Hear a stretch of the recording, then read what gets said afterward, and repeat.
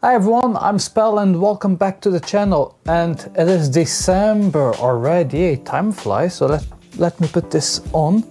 Whee!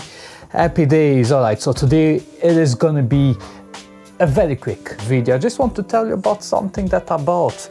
Been spending a bit of money and well, you can probably see already, I got a wee drone. Whee! Uh, yeah, it was quite an investment, but I think it will be well worth it for um, the channel and to do some uh, more cinematic type of videos. Uh, well, I'm not entirely sure if I know how to do that, but uh, I'll try my best. Aye, so I got this uh, DJI Mini 3 Pro. It is a very good drone for uh, its class. I had to get my flyer ID, operator ID and all that crap to be uh, able to fly it legally here in the UK. I did some footage with it, not here yet in the UK. I went back home to, to the Azores and uh, the footage I think was absolutely brilliant. This, by the way, let's talk a bit about this, why not? So this films in 4K, so that's quite uh, handy because although I don't edit 4K per se, as I have a ultra wide screen and I edit at uh, 21 by 9 aspect ratio, uh, it uses a lot of pixels, so I need the 4K uh, options to be able to fill all those uh, pixels, right? So being 4K is absolutely brilliant.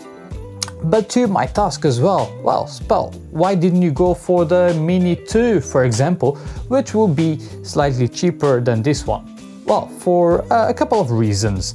Uh, and one of the main reasons is this one got sensors. That's here on the front, on the back, and underneath and that means that I can put this up in the air and uh, just select, yeah, that's me on the bike, follow me. And it will automatically follow me. And if there is any uh, obstacles or whatever, trees, something like that, it will automatically avoid it so it will not crash also we hope eh? Uh, so yeah, that was the main reason why I got this one instead of the Mini 2 Pro. This is very light and feels very plasticky and all that, but you know, it had to be like this to um, be within or below 250 grams. So I what matters here, anyway, is uh, the quality of the footage we can make with, with this one. And I actually got was uh, this um, remote control, the RC, which is quite nice. I don't need to, to have my mobile phone or, or anything. It has a screen integrated with it, so makes my life much easier. But anyway, that was just to tell you that I got this and uh, coming forward in the future, you'll be uh, seeing some footage from uh, up in the air and all that. So I think it would make for very interesting videos, especially here in Scotland, eh, where the scenery is absolutely stunning.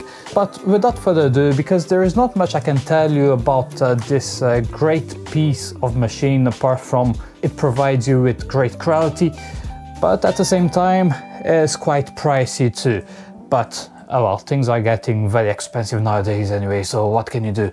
Uh, so I'll let you be with some uh, a wee montage of uh, some videos I uh, did back in the Azores a couple of months ago.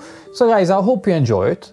Thank you very much for watching. Ride safe, stay safe, and I'll see you soon.